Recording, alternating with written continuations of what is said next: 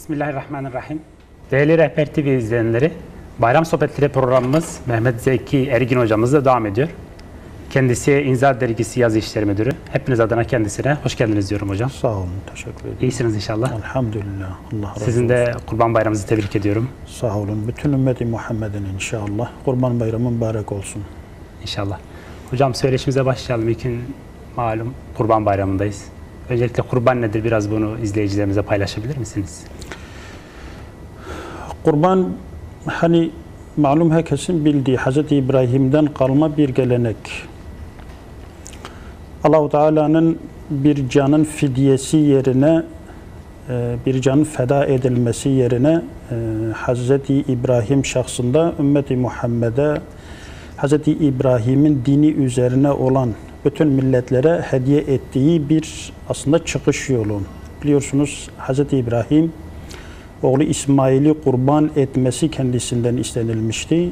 O bu konuda sadık olduğunu ispatladıktan sonra Allahu Teala fidye olarak onun yerine şu an bizim için gelenek olan ibadet e, olan kurbanı yani e, fıkıhta usulleri belirtilmiş, şartları belirtilmiş bir hayvanı feda etme, kurban etme olarak e, bizim dinimize yerleşmiş, bizde adet haline gelmiş olan bir gelenektir. Hz. İbrahim'den kalan bir miras olarak.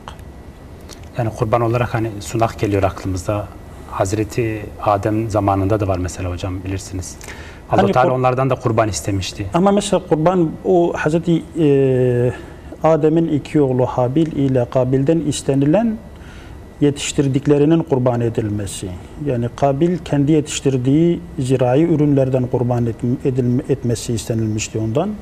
Habil ise çobanlık yaptığından dolayı kendisini yetiştirdiği hayvanlardan e, kurban edilmesi istenmişti. Tabi e, Hz. E, Habil'in kurbanının kabul edilmesi, evet Hz. Habil'in e, ihlası, samimiyeti, en güzelini Allah'a feda etmeyi tercih etmesi. Ama bir de bununla birlikte e, Hz. Habil'in ki şu an bizde adet olan, yani e, fıkıhın kurallar, kendisine kurallar çizmiş olduğu e, hayvanlardan kesilmesinin artık adet haline gelmesi, bu da e, Hz. Habil'in geleneğine olan bir şeyi ifade ediyor. Ama hani e, mesele sadece e, hayvan olması değil, e, Kabil'in seçerken en kötülerini seçmesi, Evet. Habil'in ise buna karşılık en sevdiği, en sevdiğini feda etmesi. Ama tabi Hz. yani bunun tam olarak oturmuş hali ise e, Hz. İbrahim'in Hz. İsmail'i kurban ederken Allahu Teala'nın Hz. İsmail yerine bir fidye olarak e, haybi koçu cennetten göndermesi e, bizde gele, gelenek olan, bizim dinimize oturmuş olan budur. Yani bir, bir nevi şunu da ifade ediliyor, şunu da ifade ediyor. E, kurban bizim İsmaillerimize fidye oluyor aslında. Hani e, evet fıkıh diyor ki hali vakti yerinde olan e, Şafiilere göre ömürde bir kere e, ama e, o felsefeden de baktığımız zaman yani Hz. E, İsmail'in yerine fidye olması e, açısından o bakış açısıyla baktığımız zaman bizim İsmaillerimize bir fidye oluyor. Bir de bir nevi Allahu Teala bizim İsmaillerimizin kurbanlık olmasına bir fidye olarak e, olarak kabul ediyor. O yüzden e, ümmeti Muhammed yani Müslümanlar özellikle bilinçli Müslümanlar şu an yeryüzünün İslam'a göre, göre kurulu olmaması dolayısıyla kendisini İslam'a göre kurulu bir dünya düzeninin e, geri gelmesi için sorumlu hisseden Müslümanlar özellikle bu konularda bu tür şeyler çok daha dikkatli, çok daha bu konular üzerine durması gerekiyor diye düşünüyorum. Eyvallah hocam. Mesela hani Habil bildiğiniz üzere en iyi hayvanı seçerken Kabil de orada yere düşmüş çer çöplerin yani yenilmeyecek meyvelerin toplaması. Bugün biz mesela kurban seçerken bir Müslüman neye dikkat etmeli? Yani kurban Allah'a yaklaşmak ise yaklaştıran bir ibadet ise yani e, nasıl hakkını verebiliriz kurban seçerken? Yani bütçemize göre yani daha iyisini seçebilirken yani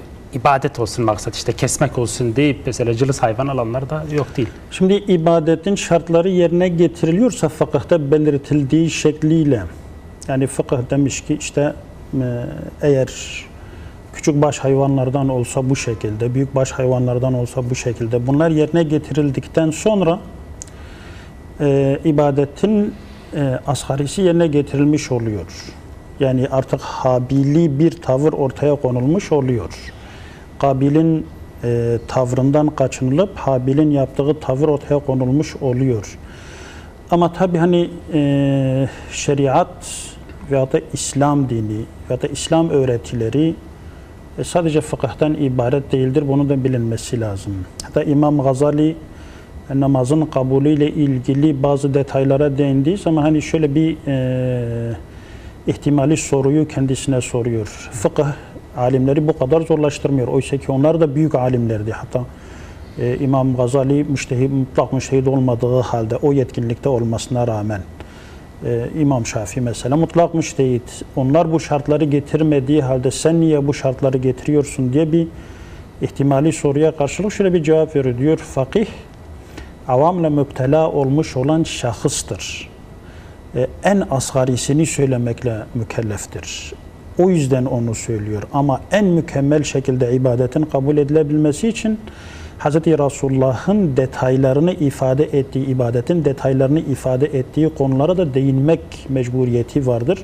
Dolayısıyla fıkıhtaki şartlar yerine getirildiği zaman e, kabili bir tavırdan e, kaçınılıp habili bir tavır sergilenmiş oluyor. Ama en mükemmel olması istenildiği e, isten ki bütün Müslümanlar ibadetinin en mükemmel şekilde olmasını istiyor. O zaman Hz. Resulullah'ın e, sözüne ettiği detayları göz önünde bulundurarak e, Müslümanların kendi kurbanlarını, kendi ibadetlerini yerine getirmesi gerekiyor. Eyvallah hocam. Peki kurban da hem kurban bayramında hem Ramazan bayramında malum bir takım geleneklerimizi unuttuk. Yani bayramı nasıl yaşamalıyız?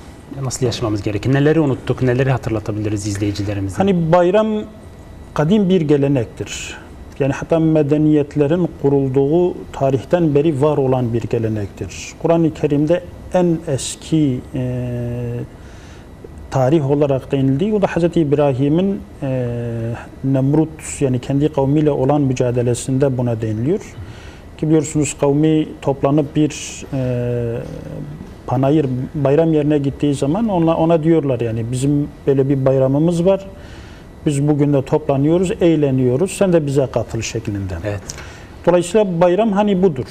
Ee, İslam e, tarihinde ise e, Hz. Resulullah Medine'ye geldiği zaman Medineli Ensar'ın e, e, yılda iki gün bayram ettiğini yani toplanıp eğlenip toplu bir eğlence düzenlediklerini görüyor.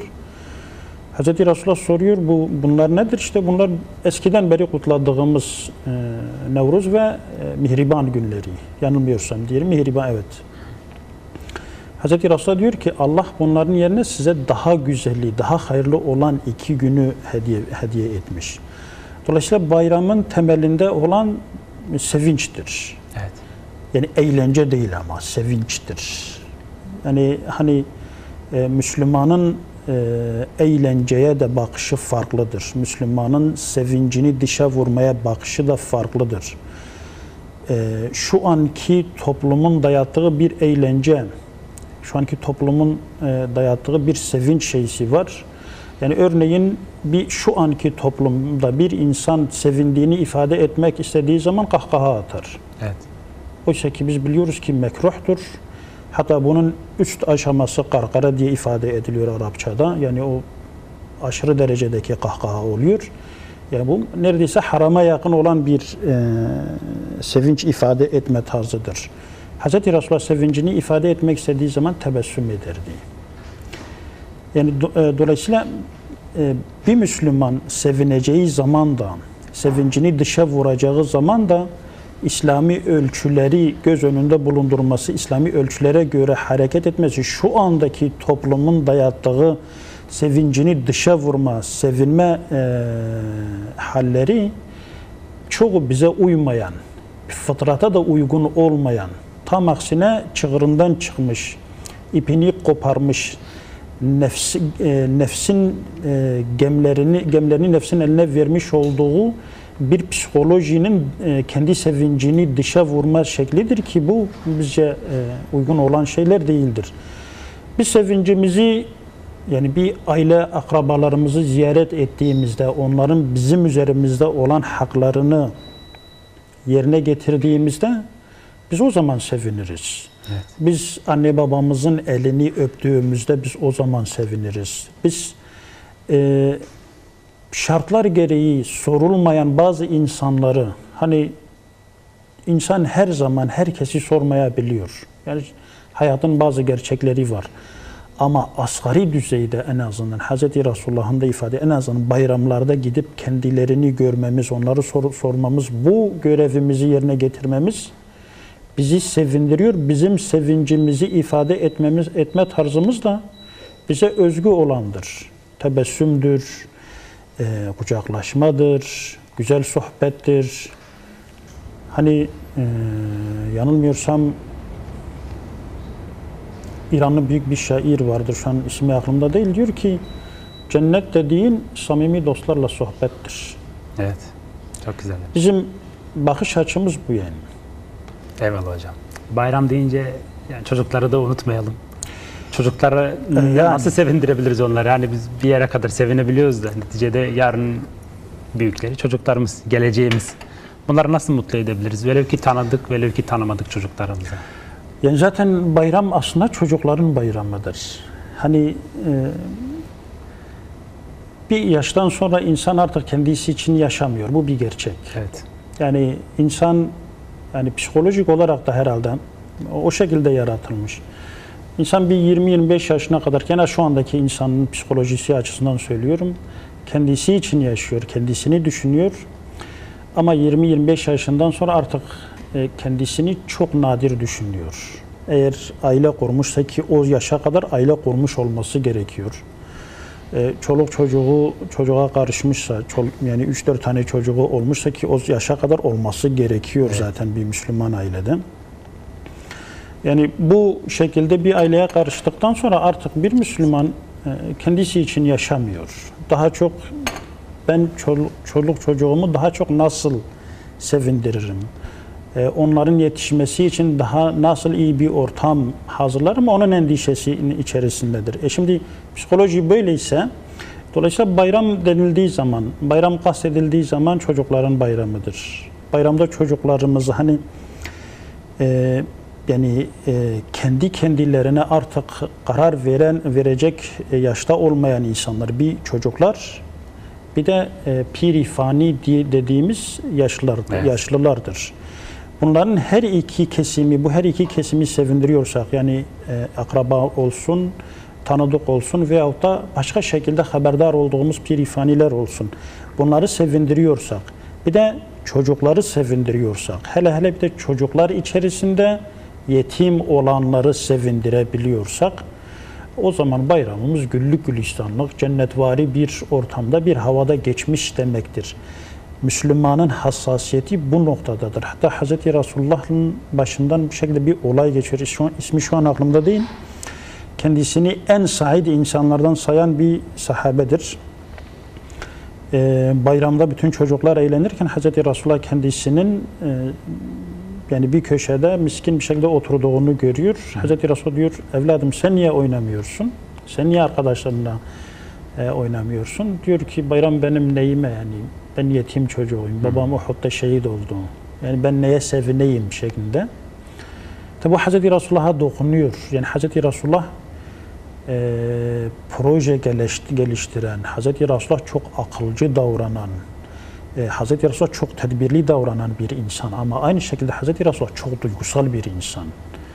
Yani e, savaş meydanında e, Hatib bin Ebi Belta'nın söyle yaptığından dolayı gözlerinden yaş akan bir insan veyahut da Hz. Talha'nın tavrından dolayı gözlerinden yaş akan bir insan. Şimdi bu çocuk, şey çocuğu bu, bu şekilde Resulullah'a karşılık verince Resulullah duygulanıyor.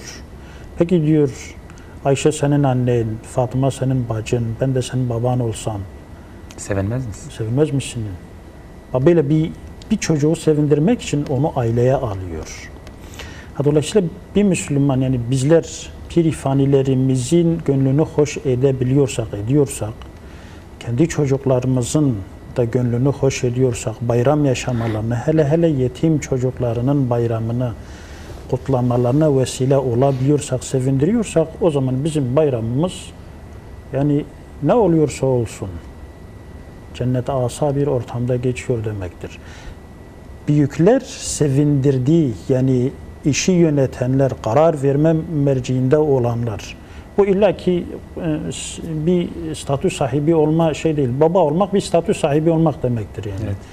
Veyahut da bir genç olabilmek, topluma toplum içerisinde aktif bir genç olmak bir e, konum sahibi e, olmak demektir. Şimdi konum sahibi olanlar, karar verme merciinde olanlar, başka yani e, sorumlu olduğu insanlara karşı sorumluluklarını yerine getirmek suretiyle seviniyorlar.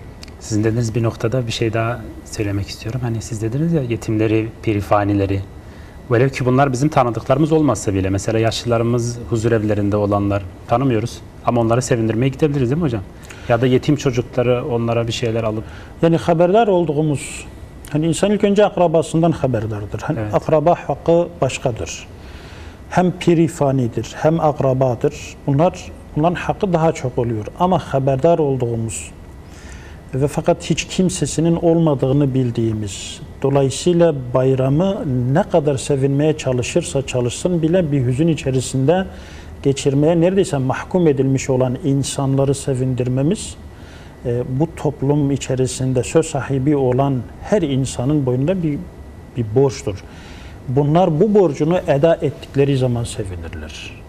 Yani e, biz çocuklarımızı sevindirdiğimizi gördüğümüz zaman, biz pirifanilerimizi sevindirdiğimizi gördüğümüz zaman gönlümüz hoş oluyor. Hani Üstad Bediüzzaman diyor ya, diyor ben kardeşimin imanını kurtardığımdan emin olduktan sonra ben cehenneme gitmişim, cennete gitmişim. Benim için fark etmez. Cehennemde bile yansam gönlüm rahat olur diyor. Hani haşa bu cehennemi e, hakir görme ya da cenneti küçük görme bir- öyle değil. Önemli olan ilk önce insanın gönlünün hoş olması. Yani kendi sorumluluklarını yerine getiren insanın gönlü hoş olur. Bunları yerine getirdikten sonra artık e, kendi e, bayramını köyün içerisi, köyde toz toprağın içerisinde gibi bir yerde geçirmiş veyahut da cennet asa bahçeler sırlara sahip bir yerde geçirmiş fazla fark etmez. Ama ilk önce insan içini rahat edecek. Ben evet sorumluluklarımı yerine getirdim. İhtiyarlarıma sahip çıktım. Ben çocuklarıma da sahip çıktım. Eyvallah. Bu toplumun boyununun borcu olan çocuklara da sahip çıktım dediği zaman artık diğeri Allahu Teala'nın nimet üzerine nimet diyor ya. Nimet üzerine nimet olur. Eyvallah. Bir de hocam e, bazı kesimlerden duyuyoruz mesela işte İslam coğrafyası, Müslümanlar bu kadar zor durumdayken bayram mı kutlanır? Hatta bazı kesimlerde hayvanın kesilmesine karşı çıkan gruplar var, insanlar var. Bunlarla ilgili ne dersiniz hocam? Bayram Ya bu şey şeytanın sağdan yaklaşma tarzıdır. Yani Müslümanlar da bunu dillendiriyor. Yani sadece şimdi evet bir kesim var İslam'ın şiarlarına hedef edilmiş. Yani İslam'ın ne kadar şiarı varsa bu toplumdan söküp atmayı kendine bir görev vermiş. Cihad aşkıyla savaşıyor bu, bunun için. Bayramlar İslam'ın şiarlarındandır. Nasıl ki alimlerin mezarları bugün İslam'ın şiarlarından olmuşsa veyahut da medreselerimiz İslam'ın şiarındansa, camilerimiz İslam'ın şiarındansa aynı şekilde bayramlar da İslam'ın şiarındandır. Bir kesim var bunu böyle buna savaş açmış. Çünkü biliyor yani şiar ortadan kaldırılmadığı sürece o toplumdan köklü bir değişim, o toplumdan o dini köklü bir şekilde söküp atmak mümkün değil. Adam bugün biliyor. Üstad Bediüzzaman diyor ya şu anki küfür cehaletle savaşan bir küfür değil, bilimsel savaşan bir küfürdür. Yani Müslümanlar buna göre tavır almak zorundadır diyor yani.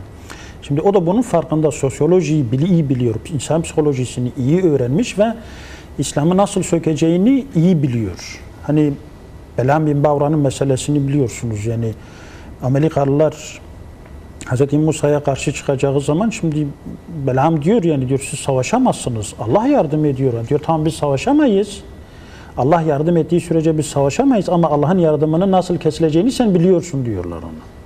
Bu zamandaki bilim bunu küfür bunu biliyor. Allah'ın yardımı nasıl kesilir bunu biliyor. Müslüman nasıl yenilir bunu biliyor.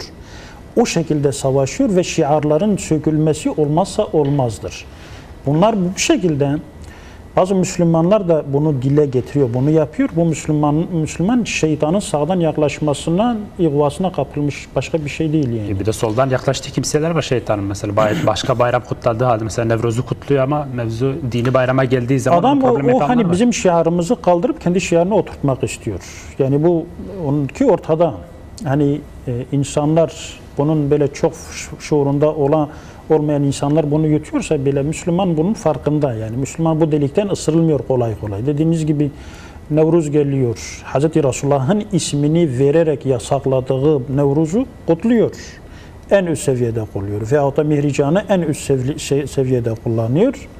Ama bayram söz konusu oldu o zaman. Bayramdan bir gün önce düğün dernek yapıyor, tepiniyor, zıplıyor, bilmem ne yapıyor, her şeyi Evet, yapıyor. evet. Ama bayram günü geldiği zaman biz işgal topraklarımız işgal altında diyor kendisi. Bizim şehitlerimiz var diyor kendisi. Dolayısıyla böyle bir bayram kutlanamaz. Bu hedefi belli bunun. Yani İslami şiarı kaldırıp yerine e, Batılı eski, şiarlar. batılı ve hatta cehalet e, döneminden kalma ve hatta modern tam pagan kültürünün bir ürünü olan e, şeyi kendi bu topluma yerleştirmek istiyor. Ama Müslüman da bazen şeytanın sağdan yaklaşmasına yenilebiliyor. Yani onu ona kanabiliyor. E biz bayramı hoplayıp tepinmek için tepinecek bir şey olarak görmüyoruz ki. Bize göre bayram da evet farz olan bir ibadet değil. Yani namaz gibi değil, evet oruç gibi değil. Ama bu da Hz. Resulullah Aleyhisselatü Vesselam'ın şeysidir ve bu dini bir Vecibedir. vecibedir, yerine getirilmesi gereken bir vecibedir. Bunun nasıl kutlanacağını ise adetler bunu belirlemiş. En yani Hz. Resulullah'ın tavsiye ettiği, İslam ulemasının tavsiye ettiği Müslümanların kendi aralarındaki sosyal bağları güçlendirmek. Akraba ziyareti o yüzden sözün deniliyor. Eğer küçük yerleşim birimlerinde ise bütün o yerleşim birimindeki insanların ziyaret edilmesi, bayramının kutlanması, sevincine ortak olması. Evet. Bu bizim e, büyüklerimizin tavsiyesi doğrultusunda adet haline gelmiş şeyler. Hatta yani eskiden hani şu an e, biraz e, yontulmuş, aşılmış olsa bile yani evden bir kişi mutlaka böyle e, evine ev e, bayramına gelenleri kontrol ediyordu. Yani bir kişi gelmediyse soruş soruşturuluyor acaba bir hasta mıydı Evet. yoksa şey miydi? Mazeretli mi yoksa keyfi bir uygulama mı? Evet, mazereti yoksa ve gelmiyorsa o zaman arada dargınlık var demekti. Yani dolayısıyla o kü- küçük yerleşim birimi diyeyim, köy dediğimiz veyahut da mahalle içinde birbirlerine çok samimi, birbirlerini tanıyan insanlar olarak bunlar birbirlerinin bayramını na gitmedikleri zaman, bir, birbirinin sevincine ortak olmadıkları zaman bunu artık başka manada algılıyordular ve doğru olan da bu idi. Evet bayramda bir Doğru de olan da budur durumu da var. yani. Onu da hocam Şimdi bu sayede artık o küskünler de gidiyorlar yani. O küskünlük de aradan geliyor. Evet Hazreti Resulullah demiş ki üç günden fazla. Fakat şu anki şu zamanki insanların psikolojisi üç günde yatışmıyor. bayramdan bayrama belki de vesile oluyor bayram. O bile yani hani e, o bir yıl içerisinde o dargın olanlar günah içerisinde olsalar bile en azından günahları bir noktada bitmiş oluyor. Buna vesile oluyor yani. Evet hocam kısa bir araya gideceğiz. Bir mola verelim ondan sonra devam edelim inşallah. Değerli izleyenler kısa bir ara sonra yine birlikteyiz inşallah. Evet değerli izleyenlerimiz yine beraberiz. Konuğumuz Mehmet Zeki Ergin. Hocam devam edelim inşallah söyleşimize. Yine kurbana dönelim mi? Dönelim. Şimdi kurban malum insanları Rabbine yaklaştıran büyük bir ibadet, güzel bir ibadet. Ee, şimdi Müslüman kardeşlerimiz kurbanlarını keserken yani yanında bulunup kesme yerine bir şekilde işte vekalet verip ya da işte süpermarketlere sipariş verip ya da bir SMS'le katılıp bir havale yaparak kurbanlarını idrak ediyorlar. Yani bu sizce ne kadar doğru? Şimdi hani ibadet e, yerine getirilirken ibadetin bazı menfaatleri var. Yani ahirete bakan tarafından başka bir de dünyaya bakan tarafı var. Mesela namaz insanı programlı hale getiriyor. Düşün sen gününü beş beş parçaya bölüyorsun. E, veyahut da hac örneğin bütün Müslümanlarla bir e, toplantı yapıyorsun. Dünyanın her yerinden mutlaka bir Müslüman geliyor ve biraz e, duyarlı olan bir Müslüman dünyadaki bütün Müslümanlardan yani o bire bire bir doğrudan haberdar olabiliyor. Şimdi e, ibadetlerin bu şekilde dünyaya bakan bir tarafı var. Şimdi kurbanın da yani bir şeysi şu. Yani durumu olan, durumu biraz yerinde olan Müslümanların kurban kesip e, e, belli bir miktarını e, ihtiyaç sahibi insanlara veya da komşularına, akrabalarına dağıtmasının böyle bir dünyevi, yani dünyaya bakan e, bir faydası, bir böyle bir yönü var e, kurbanın. Ama bir tarafı da ibadetin kişiye, yani bizzat kişinin kendisine verdiği bir e, faydası var. Hani ahiret, ihlas veya da insanları topluma yönelik faydaları hariç bir de bireysel kişinin kendisine e, sağladığı faydası var.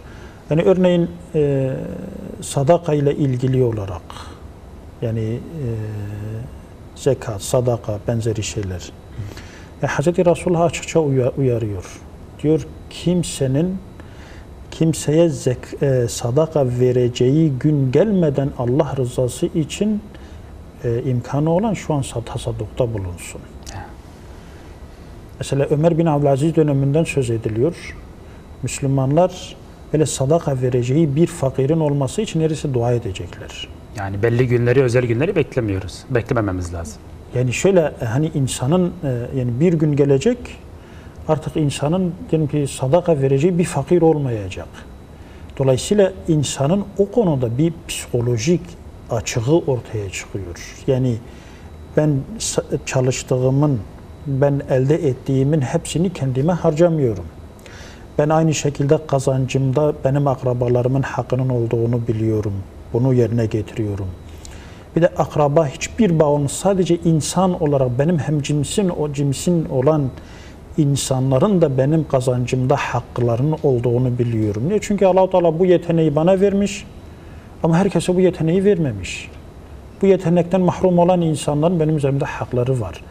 Bu şekilde insan tasaddukta bulunduğu zaman psikolojik olarak rahatlıyor. Allah bana bir yetenek vermiş. Ben o yeteneği insanlığın hizmetine sunmuş oluyorum.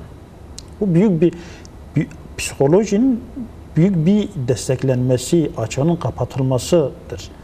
Şimdi kurban da bu şekilde insan psikolojisi, insanın birey, bireyin kendisi üzerinde etkileri var. Hz. Resulullah haşa Hz. Fatıma'ya boşu boşuna demiyor haşa. Kızım kurbanın kesildiği zaman ilk akan kan damlasına sen şahit ol. Boşu boşuna bunu söylemiyor. Ha şimdi Evet derneklerin faaliyetleri var yani vakıf kurumları var bunların faaliyetleri var. Çünkü biz e, kurban keseceğimiz zaman biz ancak kendi çevremizdeki insana 3-5 aileye ulaştırabiliyoruz. Bireysel olarak bizim yapabileceğimiz bu. Ama Afrika mesela var. Mesela Bangladeş var. Mesela Arakan var. E, ben e, bu vakıflar adına oraya giden Umut e, kervanı adına oraya giden arkadaşla konuştum. Yetimler adına, Avrupa Yetimler adına oraya giden arkadaşla konuştum. Yani 25 gün boyunca evden çıkamıyor. O kadar ki insan psikolojisini etkileyen o kadar daraltıcı bir fakirlik, bir yokluk var. Şimdi bu vakıfların bu şekilde bir faydası var. Bunun olması lazım. Yani ben herkesin eli oraya ulaşamıyor. Ama herkes bir araya yani diyelim ki yani binlerce insan bir araya gelip böyle bir vakfı kendi içlerinden çıkarıyorlar. Üret, bu bir insan üretimi, yani bu toplumun üretimi bir kurum oluyor. O kurum vasıtasıyla oraya da elini uzatabiliyorsun. Bu güzel. Evet. Şimdi insan bir taraftan bunu yaparken diğer tarafta da unut, o diğer tarafı da unutmaması lazım. Resulullah Hazreti Fatıma'ya özel olarak hani kadının kesim yapması doğru değil. Çok mecburi şartlarda olma, olmadığı zaman kadının kestiği doğru değildir. Kadın fıtratına aykırıdır. Kadın fıtratını bozan bir şeysi var. Onu kadınlığından çıkarıp diğer e, cinse yaklaştıran psikolojisini o şekilde bozma şeysi var. Ama buna rağmen Hz. Resulullah diyor ki ilk dökülen kanı görmen lazım. Yani onu görmeye Orada bulun diyor yani, Orada bulun diyor. Bunun insan psikolojisi üzerinde mutlaka büyük etkileri vardır ki Hz. Resulullah bunu söylemiş. Ve diyor ki çünkü dökülen ilk, kan, ilk damla kanı senin günahların temizleniyor. Senin günahlarının temizlenme ana şahit ol. Bu insan psikolojisi, insan yapısı, insan inancı üzerinde, akidesi üzerinde büyük etkileri olan şeylerdir ki Hz. Resulullah bunu bize bu şekilde tavsiye etmiş. Yani evet ibadetlerin bir şekilde kurumları ortaya çıkarması güzeldir. Evet. Çünkü her şey bireysele kaldığı zaman hani Allahu Teala burada hani e, insanların kendi aralarında sivil örgütlenmeler kurması sadece diyor ki hayır için veya da insanların arasını bulmak için kendi aralarında örgütlenmeleri güzeldir. Onun dışındaki örgütlenmelerin hepsi kötüdür yani. Ee, öyle bir uyar. Dolayısıyla iyi bir örgütlenme, yani e, iyiye e, çeviren örgütlenmeler var. Yani bu kurumlar, vakıflar bunun bir ürünüdür. İbadet kendi içerisinden kurumsallaşmayı, bir kurumu çıkarması güzel bir şeydir. Ama her şeyi yani kurumu ortaya ortaya çıkardıktan sonra her şeyi kalkıp kuruma devret. Bu doğru bir şey değildir. Yani aşırı bir tembellik var üzerimizde. Hiçbir şeyle uğraşmak istemiyoruz yani. Bizden çıksın da yani ben tamam ibadetimi yerime getirdim ama öte yandan ben tatilime gideyim. Ben İşte böyle bir bakayım. hale sevk ediyor yani in, yani e, kendi bireysel çabasını neredeyse sıfırlıyor. Yani sadece para ver yani ibadet etmek, örneğin sadaka ibadetini yerine getirmek, e, kurban ibadetini yerine getirmek, hac ibadetini yerine getirmek sadece para ödemeye dönüyor. Bu böyle değil ki.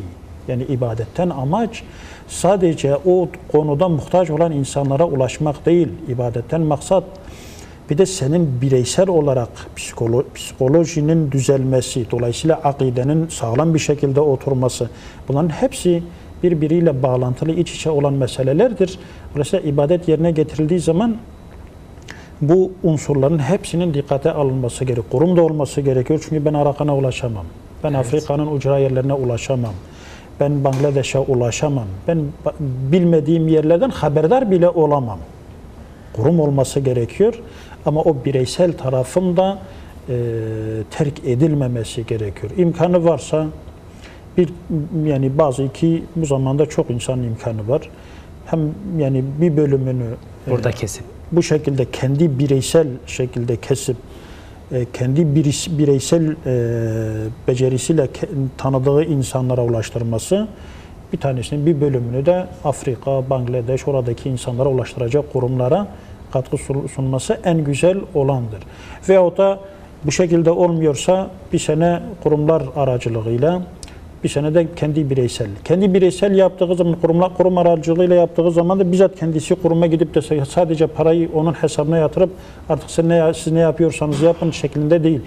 Yani kuruma destek ve gidip aynı şekilde ona katkı sunup onunla beraber kendi kurbanı kurumun e, şeysi altında kesebilir.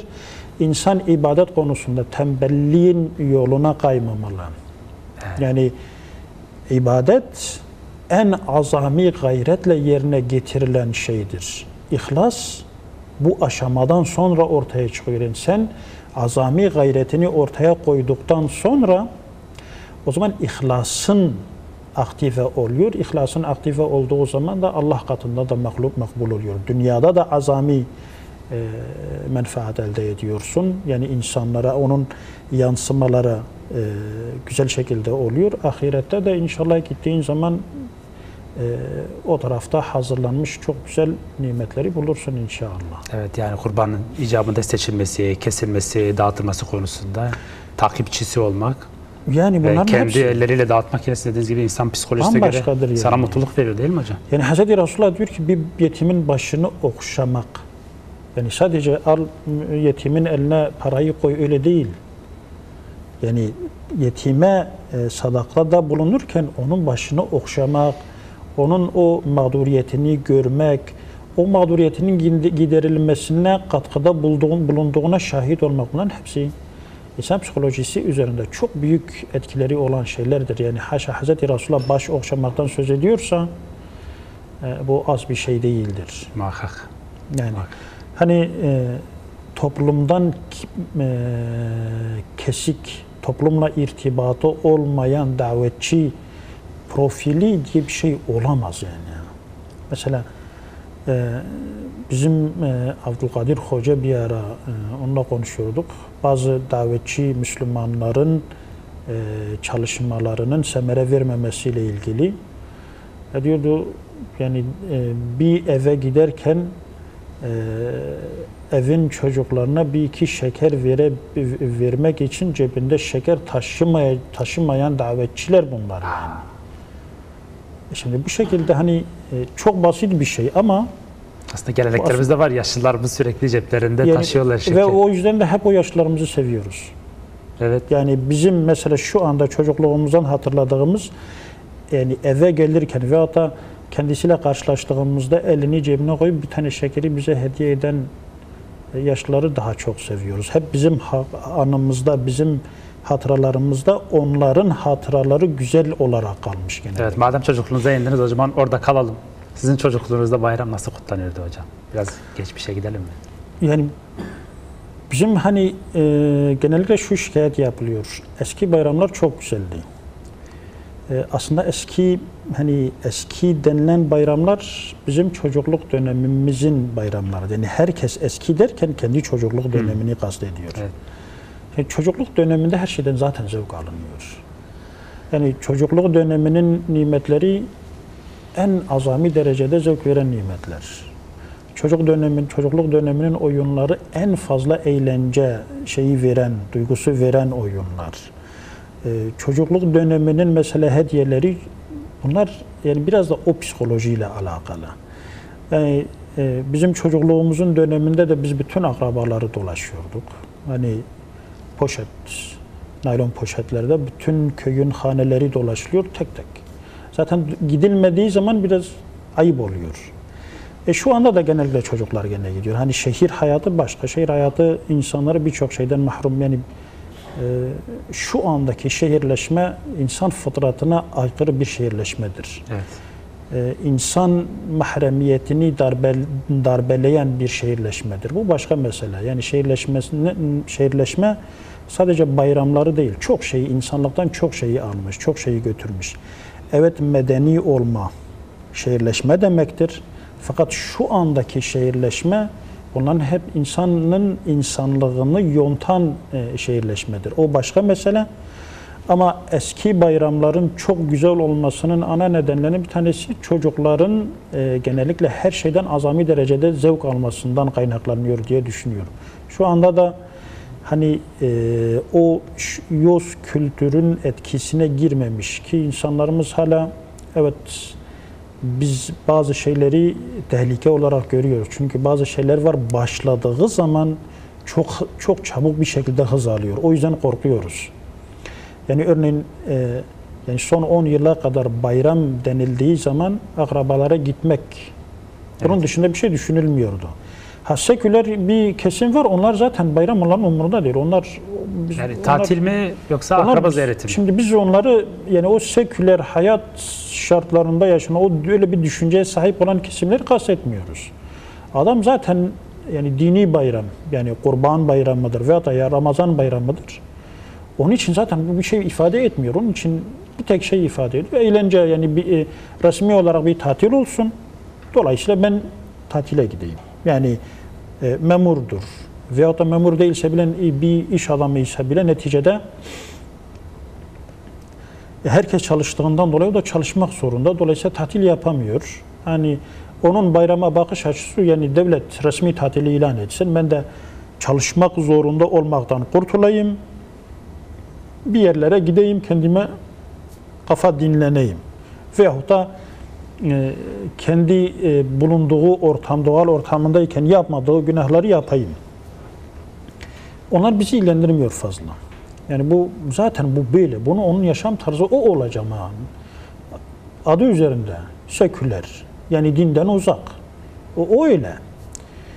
Ama artık Müslümanlar da yani hatta ben davetçiyim, Müslümanım diyenler de e, İslam'ın İslami yaşantıyı kendisi için dert edinen Müslüman da artık e, yavaş yavaş böyle düşünmeye başlıyor. Şimdi çok mu? Çok değil.